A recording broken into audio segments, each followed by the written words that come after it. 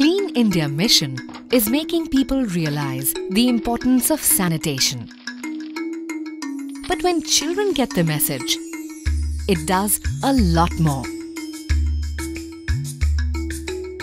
Not burdened by age old habits, their minds are free to innovate, to make a bright future possible.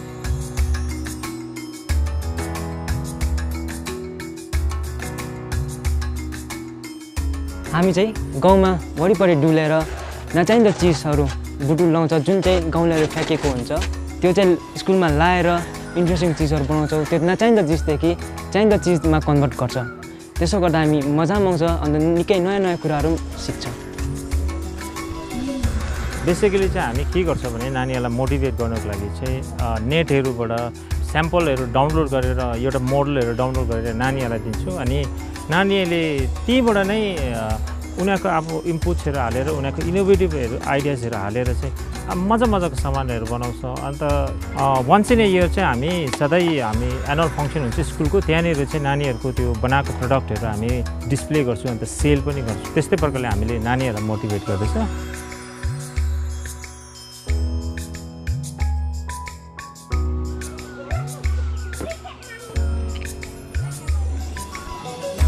हामीले यो West म्यानेजमेन्टको जुन project स्कुलमा सुरु गरेका छौँ यो हामीले विशेष गरेर नानीहरूलाई टार्गेट गरेर यो कार्यक्रम हामीले सुरु गऱ्यौँ किनभने नानीहरूको कलिलो दिमागमा यो जम्मै कुराहरू हाल्न सक्यौँ भने यसलाई एउटा ठुलो अभियानको रूपमा हामीले यसलाई परिणत गर्न सक्छौँ भन्ने हामीलाई विश्वास थियो। मान्छेले फालेको चिज चाहिँ कसरी रिसाइकल र रियुज गर्नुपर्छ भनेर चाहिँ हामी यहाँ स्कुलमा सिक्छौँ र स्कुलदेखि गएर हामी आफ्नो आफ्नो प्यारेन्ट्सलाई पनि भन्छौँ। बाबा म आइपुगेँ। ए आउनुभयो?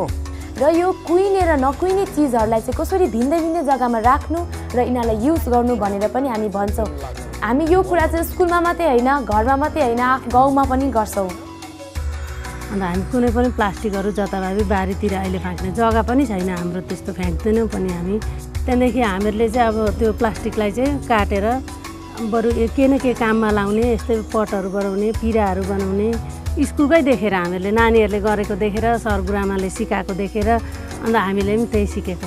त्यही गर्न थालेको हामीहरूले पनि। But what these children and people across the country are doing isn't just an act of cleaning. It is, in reality, an act of transforming.